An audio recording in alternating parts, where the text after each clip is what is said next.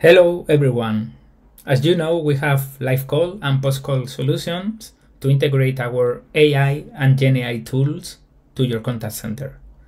In this video, I'm going to show you how to improve the capabilities of the post-call analytics integration with our BI tool QuickSight, taking advantage of the benefits of Amazon Q, that is our GenAI assistance.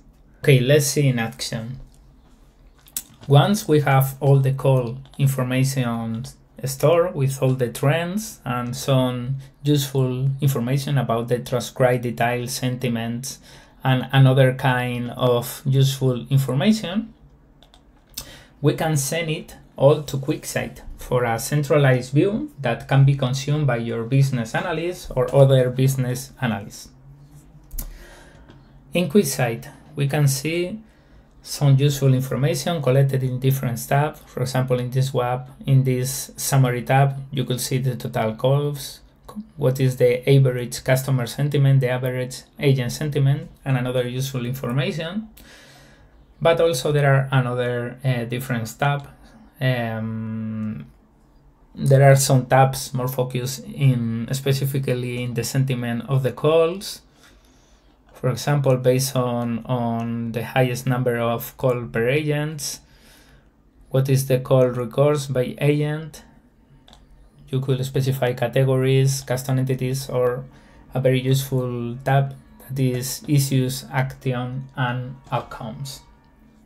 This information in itself is very valuable, but how generative AI can help us to generate reports for example, or make executive summaries because those information is very useful. But what else if we could specify a data storytelling to, to share with, let's say, your CIO, for example? Well, there are new ways for authors to get valuable from natural language query.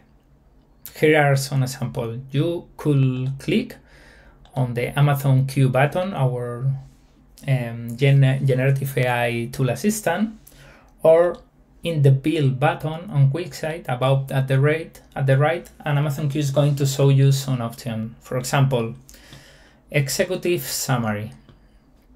Executive summary is going to present an executive summary based on the selected tab. In this case, the issues, action, and outcomes tab you could see the, the summary based, based on this tab, but also you could select another summary um, tab in this case and generate a new executive summary. In the background, Amazon Q leverage large language model to generate executive summaries of this dashboard. And also you could generate a data history. Okay, Amazon Q generates contextual recommendation and suggestion, combining your prompt with selected visuals to provide relevant details that are tailored to your data history. Let's make an example. Let's say um, I'm the manager of contact center. I I would like to generate a report about trends and how to improve my contact center. This um, report is going to be sent to my CIO. Okay, this is the the, the content okay the, the, the, content that I would like that Amazon Q generates for me based on on the on the information collected in QuickSight and I'm going to add the visuals that is going to support that report. In this case, I would like to add, for example, um, let's say, mm, mm, mm, well, the sentiment, okay? What is the distribution of customer sentiment? what was the impact of, of agent. Um, I'm going to add the highest number of call per agents. What as the what was the, the um, highest customer sentiment, the lowest customer sentiment, and another useful uh, information. Let's say, okay, this is the call records, where, and maybe it's useful to, to select what was the issue and what was the, the outcomes. Okay, let's click on rebuild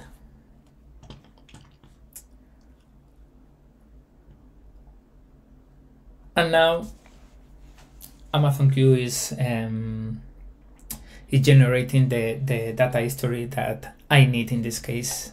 As you can see, at the left of the button, there are some visuals that is going that are going to, to support my report. We could specify more visuals or remove someone. And um, and this is the report that Amazon Q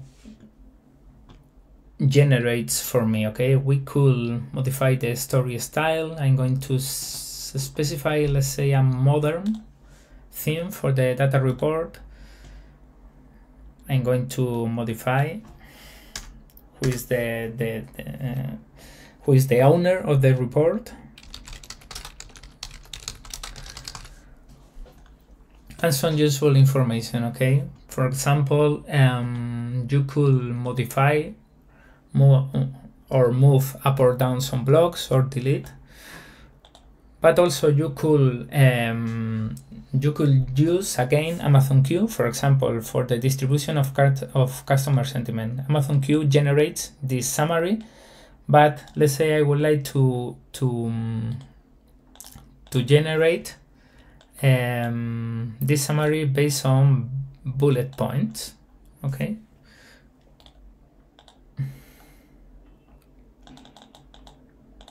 okay I'm going to specify the report. I'm going to call Amazon Q. Let's wait a few minutes. Okay.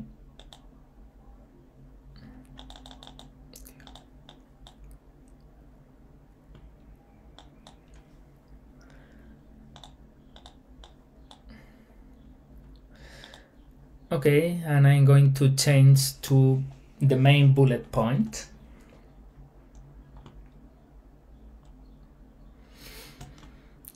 Okay, reviewing the, the accuracy of, of the narrative that Amazon Q generates for me, I'm going to keep it. And this is going to be modified in the report. After that, I'm going to preview the data history report. To check that all is correct to share with my CIO.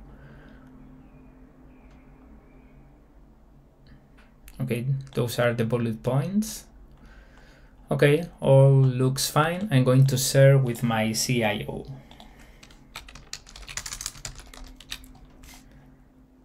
Publish.